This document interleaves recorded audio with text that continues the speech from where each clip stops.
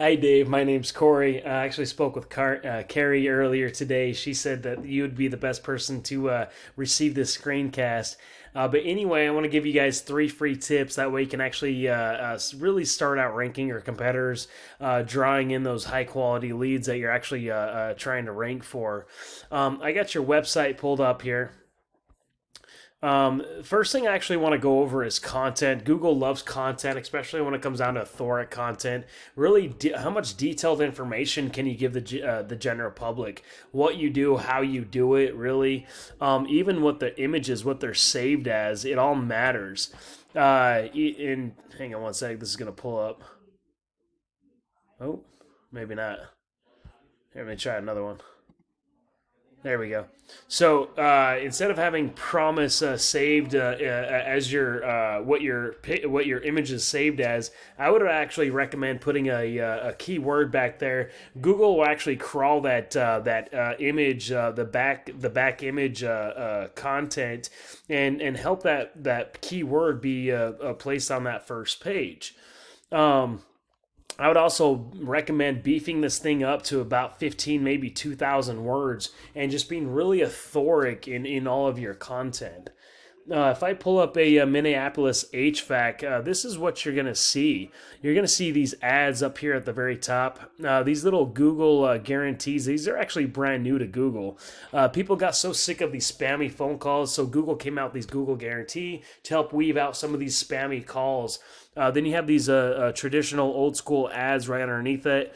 a lot of people have been going away with ads because of all those ad blockers, so a lot of ads aren't even going through right now. Um, underneath that, you got this little map section. Uh, this map section is good. you're going to deal with a lot of citations to get the rankings here. Uh, what a citation is, it's your uh, business name, address, and phone number listed on it. Uh, so what we'd want to do is go find the, all those same citations that your competitors have, uh, but don't stop there. We want to go out there and get a lot more as well. Uh, so that way, we're always outranking our competitors.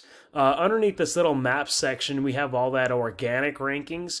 And for, for the rankings here is really going to come down to the content that's on your website. How authoric are you? How much detailed information uh, that you're giving the general public, uh, but those keywords as well, and also what's called a backlink. Now, not all backlinks are actually created equal. I took your URL and stuck it inside of uh, Ahrefs. Ahrefs is just a tool lets me see what happens behind the scenes of uh, of uh, of your website. So right now you got 367 keywords that uh, you're being ranked for. Uh, you got 44 referring domains, which is pushing back 289 backlinks. I noticed that you started your site uh, kind of right in about March 13th uh, March of 2013 or so, uh, and you've kind of, you've built a you built a decent a, a uh, backlink profile um, here. But one thing that I want to show you is the the keywords that you're actually being ranked for. Uh, you have a lot of your name uh, for your rankings, um, which uh, uh a lot of name, and but there's really there's not a whole lot of buyer intent keywords. Um, so you got uh, HVAC companies in Minneapolis, your 24th ranking on that. Um, if I pull up one of your competitors, this is residential heating. And if I pull them up in Ahrefs, I just want to show you what they're actually being ranked for. Uh, uh, before I go into that, they got 584, uh, excuse me, 585 keywords that they're being ranked for, 147 referring domains. Uh, so they got a little over 5,000 different backlinks. Uh, but if we go inside, which they're getting over 440 uh, average clicks a month to their site. Now, if we actually go inside the keywords that they're being ranked for, these are very specific uh, buyer intent keywords. Uh, so they got a uh, uh, HVAC contractors Minneapolis. Their second position. There's 200 clicks. Uh, that's a very specific uh, buyer intent keyword. Um, you got a uh, air conditioning Minneapolis MN, another 150 clicks every single month with that keyword.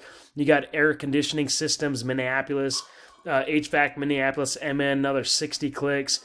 Um, so there's a lot of more keywords that we actually need to start ranking for uh, to get those high quality jobs that you're that you're looking for.